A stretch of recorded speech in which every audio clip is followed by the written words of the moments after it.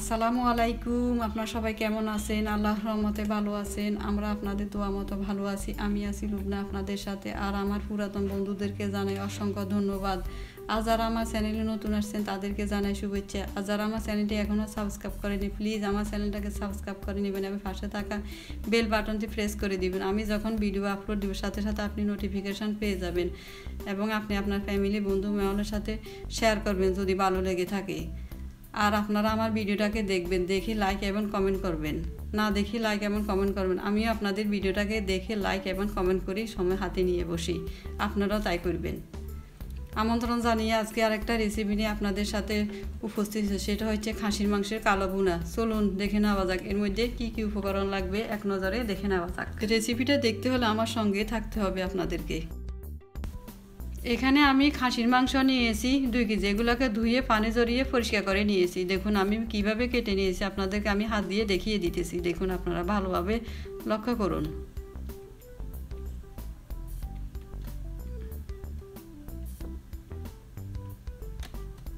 দেখে বুঝতে পেরেছেন আমি কীভাবে কেটে নিয়েছি।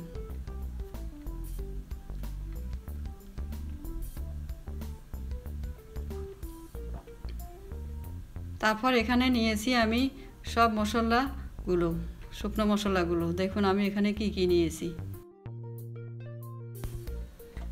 এখানে আমি শুকনো ইনগ্রেডিয়েন্টগুলো বলে দিচ্ছি। জিরা পাউডার নিয়েছি টু টি স্পুন তারপর নিয়েছি আমি হলুদ পাউডার টু টি স্পুন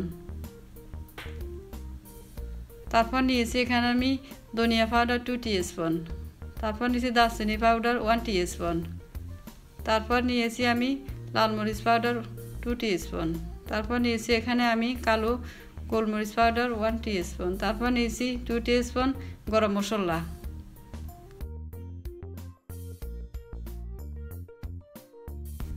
তারপর দুইটা টমেটো কিউব করে কেটে নিয়েছি। এখানে নিয়েছি পেরেজ পেঁয়াজ বেরেস্তা এক কাপ। দেখুন। তারপর নিয়েছি অলিভ অয়েলের তৈল এক কাপ। তারপর নিয়েছি কাঁচামরিচ, পাঁচ ছয়টা। দেখুন, আমি দেখি, ঝালটা আপনাদের টেস্ট অনুযায়ী আপনারা দিবেন। তারপর নিয়েছি জয়ত্রী তিনটা, এলাচ পাঁচটা, তেজপাতা চারটা, তারপর লং পাঁচটা, তারপর নিয়েছি বড় সাইজের দুইটা পেঁয়াজ কেটে নিয়েছি। তারপর নিয়েছি আদা রসুন পেস্ট চার টেবিল চামচ।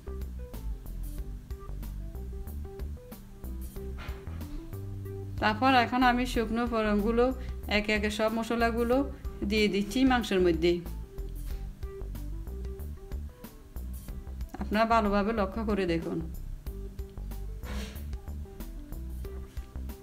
তারপর তেলটা দিয়ে ভালোভাবে হাত দিয়ে মেখে নিচ্ছি। তারপর দিয়ে দিচ্ছি লবণ। মাখানো শেষ হয়ে গিয়েছে, এখন আমি গ্যাসটা অন করে চুলার মধ্যে বসিয়ে দিচ্ছি। এখন ডাকনাটা লাগিয়ে দিয়েছি। তারপর একটা হাতা দিয়ে ভালোভাবে নেড়ে চেড়ে দিচ্ছি।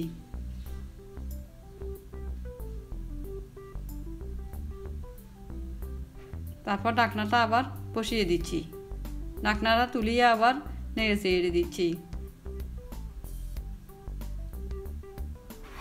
এভাবে করে আমি বারবারে ডাকনাটা উঠে নেড়ে চেড়ে দিচ্ছি।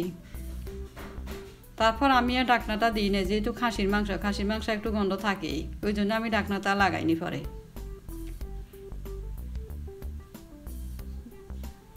নর্মালি কালো বুনা মাংস সরিষার তেল দিয়ে করে, যেহেতু আমার কাছে সরিষার তেল ছিল না, তাই আমি অলিভ অয়েলের তেল দিয়ে করছি। এটা ট্র্যাডিশনাল খাসির মাংস, কালো বুনা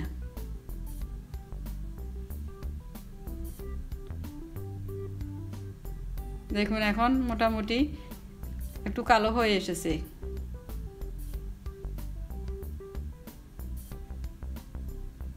বারবারে নাড়াচাড়া করতেছি। এরপর দিয়ে দিচ্ছি আমি ভাজা কল, জিরা পাউডার।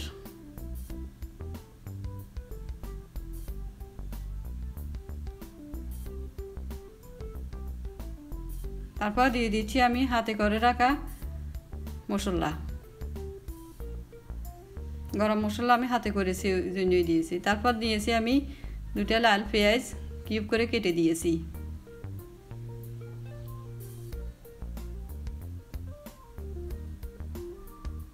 তারপর একটা তাবা বসিয়ে দিয়েছি। এর মধ্যে আমি পাঁচ ফোড়ন দিব।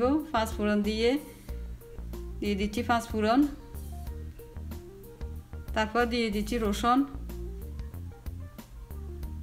এরপর দিয়ে দিচ্ছি লাল মরিচ। লাল মরিচের ভিতরে বিচিগুলো আমি ফেলে দিয়েছি। তারপর এগুলোকে আমি একটু বাদামি কালার করে নিয়েছি।